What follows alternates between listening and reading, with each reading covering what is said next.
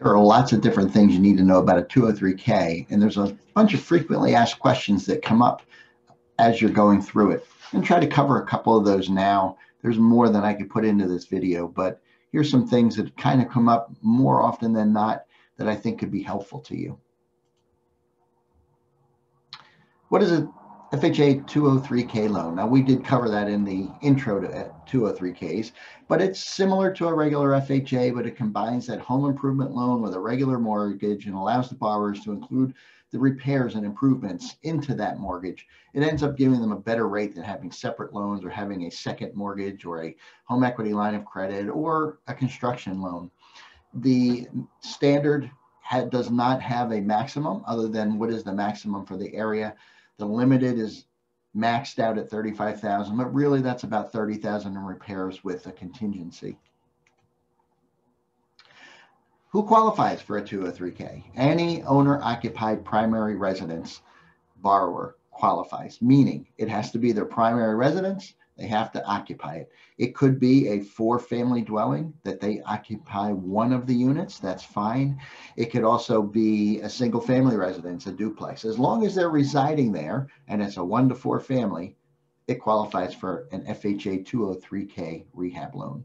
Cannot be an investor and it cannot be um, a property that they're using as a, um, a vacation home, a second home. It has to be that primary residence. What types of properties qualify for the 203K? Well, as I just said, a one to four family unit dwelling, single family, duplex, triplex, fourplex. Some restrictions on condo units, but you can use it for a condo. And there are some mixed use residential properties that qualify, but again, there's there's restrictions there. And the main restriction is it has to be owner occupied. Is there a minimum or maximum rehab amount for a 203K? Well, on a limited, the maximum is 35,000. There is no minimum per se, but most lenders have overlay rules where they'll put a minimum in there. Typically, we're seeing $5,000. I don't know that there are any rehabs less than that, but by HUD rules, there could be. A standard has a minimum of 5,000 in repairs, and the maximum is whatever the maximum loan amount is for that county, and they take the maximum mortgage limit or 110% of the improved appraised value, whichever is less. So if the 110% is less than the maximum loan amount, they're good to go. What types of repairs qualify for a 203K? Well, the, the list is really endless, as it says. There's 35 different categories from septic all the way up to kitchens and baths and whatever it is. The improvements have to comply with the HUD minimum property standards, meaning that they have to meet state and local codes and HUD codes. And luxury items, unfortunately, cannot be included. If they wanted to put that swimming pool in the backyard, they're not going to be able to do it with a 203K. However, there is some monies available for repairs to existing pools. Existing pools, most lenders cap that at 1500, though I have seen that be a little bit more.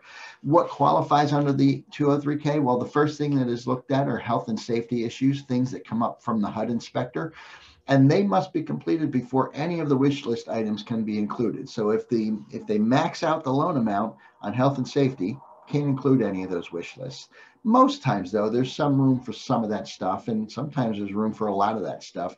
Oftentimes, there's not a lot of health and safety issues that come up, and so most of what's being done is the customer choice or the wish list.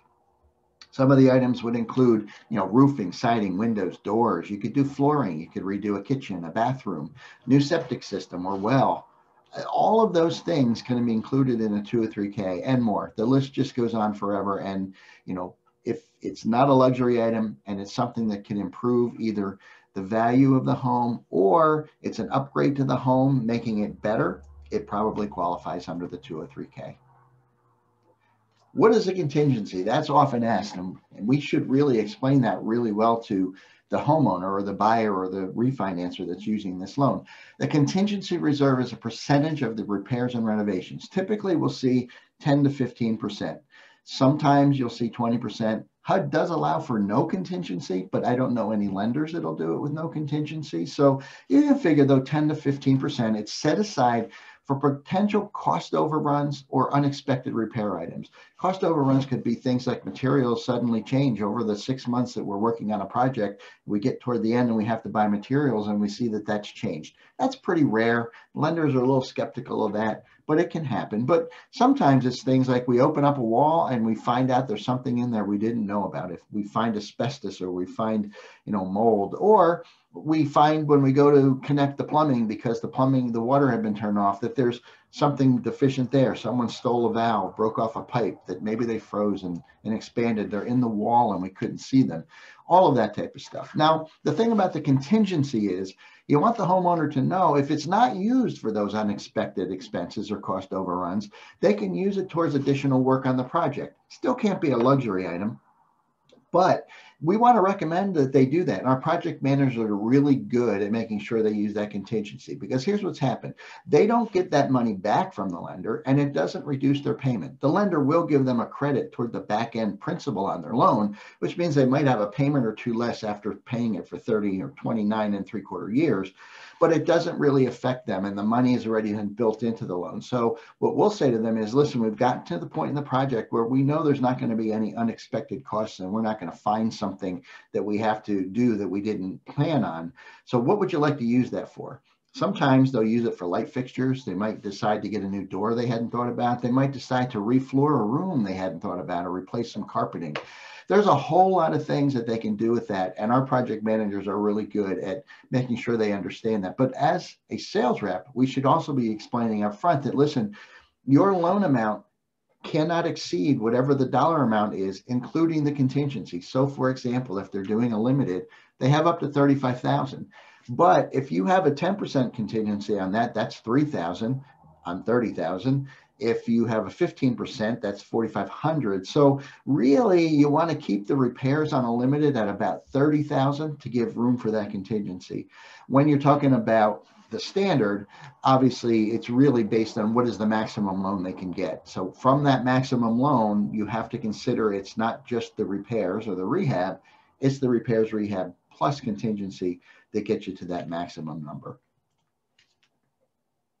Do I need to hire a HUD consultant? Well, the simple answer is yes, if you have a standard and no, if it's a limited, but the answer is not quite that simple. So a HUD consultant does provide valuable information to anybody buying a home or refinancing a home when it comes to health and safety and types of things that they might want to have done to the home. Some banks will still require a HUD consultant to be involved on a limited, depending on the work that's being done or whether or not the property was in distress prior to being purchased. Now, they they don't HUD doesn't require that, but their overlay rules can require that. A HUD consultant, though, can also be used in lieu of the home inspector. Now, a home inspect, a HUD, and HUD consultant is typically a home inspector because that's what they're doing, but they're going to look at it a little bit deeper. We want to recommend that it's always a great idea to have a HUD consultant when you're doing lender financed, even if it is limited, because oftentimes they're going to come across things that weren't thought of or that might not be seen by a standard home inspection. And the thing is, if they if we get out there and we price out the job and we it turns out that it's going to be more in repairs than a limited could handle with the contingency and they haven't had the HUD consultation done, the HUD inspection done, then they're going to have to get someone to come out there a second time if they've had a home inspection to do a HUD inspection so that they can qualify for the standard. So it's a good idea to have them do that. Additionally, um, sometimes we'll see that we're right on that borderline between being a limited and a standard, and we're not quite sure up front probably a good idea to say to them, listen, you're you're probably going to exceed that 30 to 31,000 you can have available for rehab. You might want to consider going to the standard so that we can make sure we get everything in there, as long as there's obviously value to be able to do that. Can a homeowner do their own work? Well, the answer is yes, no, and it depends, because really HUD allows for that but the short answer is no, because most of the time the lenders won't allow that. So most lenders have overlay rules, and that means that they supersede the HUD rules, meaning there's all the HUD rules, and then these go over top of it. It's never that they can cut out part of the HUD rules, it's that they add to that we usually see that most lenders have those rules in place when it comes to homeowners doing their own work. What does HUD say about it? Well, HUD says that if a homeowner wants to do their own work, they must be skilled and licensed to do so, and that they can only be paid for the materials, never the labor. So they can't, you know, put $10 in for materials and 10,000 in for their labor to put that $10 part in. However, that labor has to be built in as if someone else is doing the work And they must get three estimates from contractors, qualified licensed contractors that they have to present to the lender. The lender is going to pick the middle of the three typically, and they're going to use that to base the loan. But the thing is, they're building the labor in that's not going to be paid out. So that's part of the mortgage and loan they have. They also, however, the homeowner has to be qualified, licensed, and insured to do that kind of work. So you couldn't have a guy who's a flooring guy say, Well, I'm going to do my own work. I'm going to install all the electrical. Well, he's not licensed to do the electrical. He wouldn't be able to get the permit to do the electrical and get that permit closed out by that inspector. The lender's not going to allow that. So the, the real answer is no, you can't do your own work, even though HUD says, yes, you might be able to do your own work. It's just probably not going to happen in most, in almost 99.9% of the time. Can I purchase a property with an FHA 203K? Yes, an FHA 203K is the perfect vehicle for purchasing a home, especially if it needs repairs or if it has dated kitchen, a dated bathroom, needs some upgrades. Listen, many times a realtor will show a property and a person will say, I love that neighborhood. I think the schools are great. I think it would be a perfect place to live, but oh my gosh, that kitchen hasn't been redone since 1973 and that bathroom's got the, you know, the old tile in it from 1956 and it's just it's tired looking. The house looks old even though it's in the perfect perfect place well, that is the perfect opportunity to use a 203K to go in and bring that home up to the home that they love in the neighborhood they love. So it's perfect. And by the way, it's also a perfect fit when they're going to refinance. If they've been living in the home for a while and it's kind of tired and dated and they didn't purchase it with a 203K, and they have to be in there for more than a year to do this, but they can refinance with a 203K and take that same benefit of doing the rehab and remodeling within their mortgage, keeping the payment at, at the best possible rate and getting all the work they want done and, and stay in the home. Does a HUD consultant approve the cost? The contractor, the lender. Well, here's how it really works. The HUD inspector's job is to go out there and to inspect the property.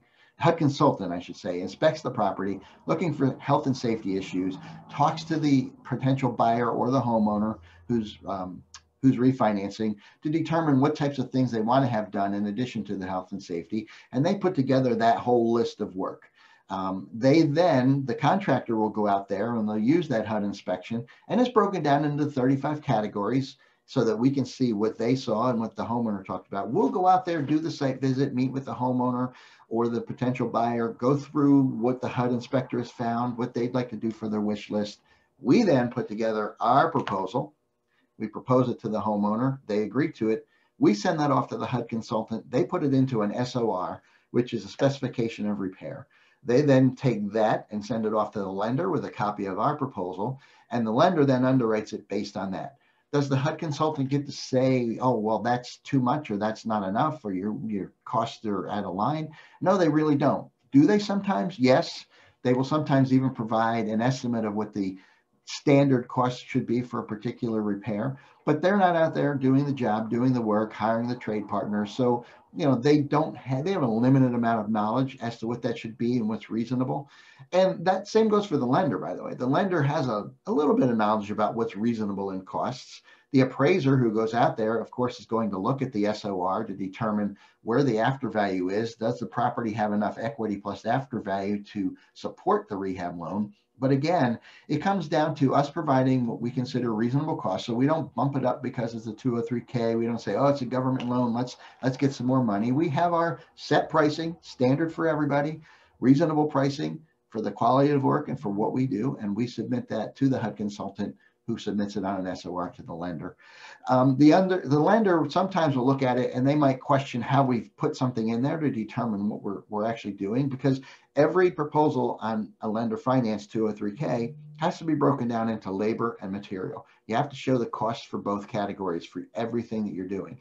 Once in a while, there'll be several items that are material with only one section of labor, and a lender might question, well, I don't understand. You have three materials, one labor. Well, all of it is the same labor, the same contractor. We broke out the materials because they're in different areas of the house or there's something that's unique about them that we wanted to spell out.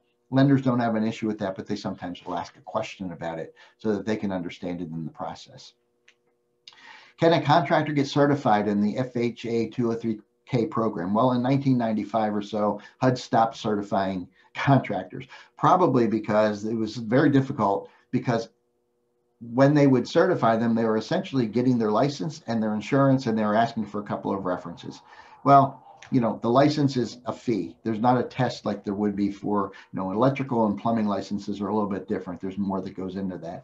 But building, builders and home improvement, it's a matter of a fee. And insurance, yes, you have to have it. And references, of course, you're only going to give them the best of the references. Now, I will say that even though HUD doesn't certify contractors, there's a process with every lender to get approved. And what they're looking for there is similar to what HUD used to look for. They, of course, want to make sure you're licensed, that you're insured, that you can provide a copy of the insurance, that you can provide references, both homeowners that you've worked with and done work for, and some trade, either trade partners or vendor partners, so that they can do a little bit of a background check it's very superficial, but if they came across something that was out of line, they might not approve you to be a, a contractor for that particular FHA 203K. To assure that we are well versed in the 203K and we exceed all those lender requirements, we partner with a, a group called 203contractors.com. Every year we have to, we take their course and we have to pass their test to become certified. We have done that again for 2020, 2021. And every year we're going to go back and we're going to redo that. We're going to take the test, we're going to take the course, take the test, get certified. We get a certificate from them, which when I send our packet off to a lender, I always include in there. We get to use the logo on our website and on our materials. And most lenders, when they see that, realize that you've taken that extra step to be prepared to handle a 203K. How does a contractor get paid? Well, that's done through a series of draws on a 203K. Nothing comes from the homeowner out of pocket. It all comes through the loan. Depending on the type, it can vary the amount of draws and how we get them. So for a limited, typically there's two draws. The first draw is made after the closing of the loan for about 50%. The second is after the completion of the project and the inspection to confirm that the work was done and completed as proposed. On a standard 203K, you can have up to five draws. That's the most common way it's done. And these draws are paid after inspections at a predetermined benchmark. It's either a percentage of work or type of work performed. Not all contractors can carry the load of a 203K, and not a lot of them want to be involved with it for that reason. We put ourselves in a great position to be able to be that number one 203K contractor in the state of Connecticut. So that's some of the FAQs. There is obviously much, much more to a 203K than those, but that is a good basis point for you to start understanding how it works and how you can best help your customers that want to take advantage of that.